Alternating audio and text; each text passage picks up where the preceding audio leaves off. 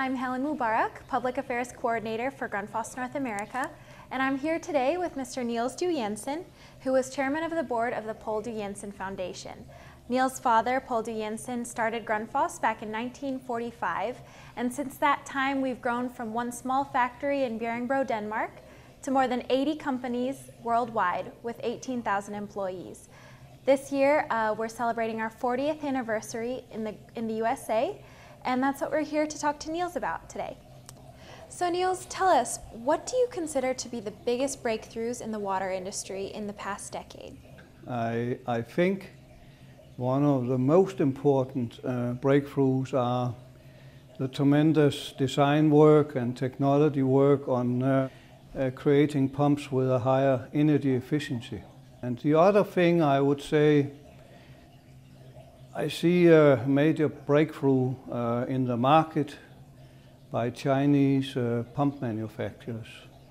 They have, over the last 10 years, really done a remarkable progress and are today a serious competition to both Grundfos and also many other other uh, pump companies in the world, and um, we have to work hard, you know, uh, staying ahead of them. How have you seen Grundfos change in the past 40 years of operations here in the United States? The significance of this milestone is first of all that we are, that Grundfos in US are still here and are here as a strong company in, in the market and we can be proud of that. And so the 40 year celebration is really worth celebrating.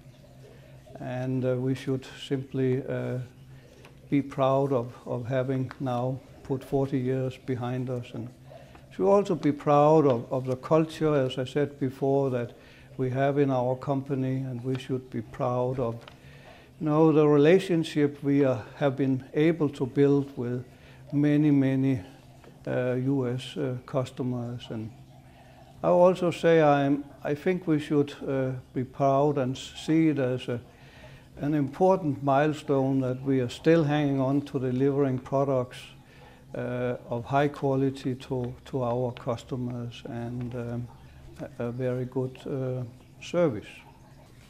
Tell us what you think your father would have been most proud of in terms of Grundfos' progress internationally and then here in the United States? Uh, it was, as I said, one of my father's uh, really uh, big dreams to establish his company here in US. And uh, here after 40 years, I think he would have been extremely proud of seeing the results of all that hard work all this dedication of thousands of Grundfos employees over these 40 years here.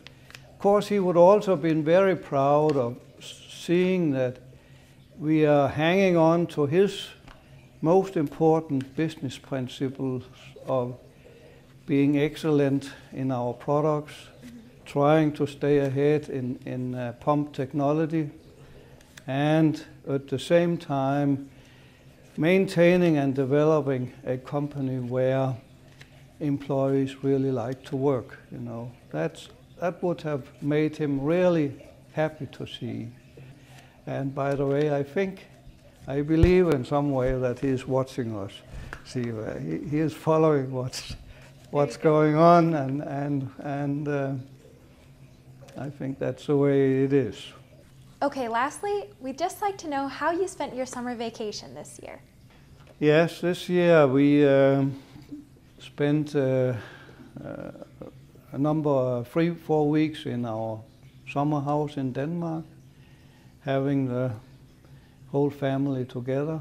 So it was a wonderful, uh, um, warm and sunny summer on the beach, and you know we had um, our two children there with their children, and so we were together, I think 11, 12 uh, people for, for a week or two, and and uh, enjoyed the grandchildren and and enjoyed the good seafood and enjoyed swimming a little bit in the cold ocean in in Denmark. And uh, I'm traveling so much over the for the year, so I, I don't need to go much abroad for, for vacation. However, I, I, this week I went to Canada for, for, for salmon fishing, and I must say I enjoyed Canada.